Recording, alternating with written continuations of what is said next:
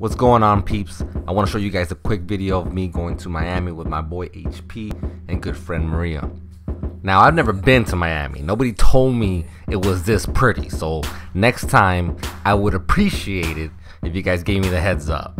But I just want to show you guys it was just a quick trip. We went out there and we were able just to have a good time. For anybody that's never been there, recommend it. A little pricey, but the beach is nice. The whole scenery is nice. Check out my shenanigans. Definitely sub. And I'm going to catch you guys on the next video. So we're here in Miami, dog. We're about to make this thing happen. Having a good time. Gotta get away from all the craziness that was going on in Dallas. But we're here at Miami Beach. I got some back, some people in the back of there. You might recognize them. Who's this guy next to me right now? What's up? Is that HP?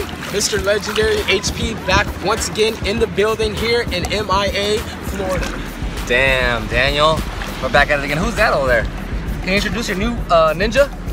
So I found a new friend. There you go. Her name is Maria. She's camera shy, as you can see. How you liking Miami? I love it. She loves it. That means you guys gotta book your ticket and go now. Yeah. That's all, that's all it means. I mean, hey, we just came out here, you know, we came out here on a whim on a Tuesday. on a Tuesday. Came out on a Tuesday. We're here in Miami, the Bayside. Saved by the Bell, straight up.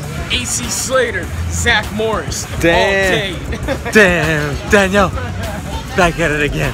All I'm saying is, when and when I become super, super famous, I'm gonna get a yacht like that one. Well, I might get a better one, but still, that'll be the first one. Stay tuned for the next time.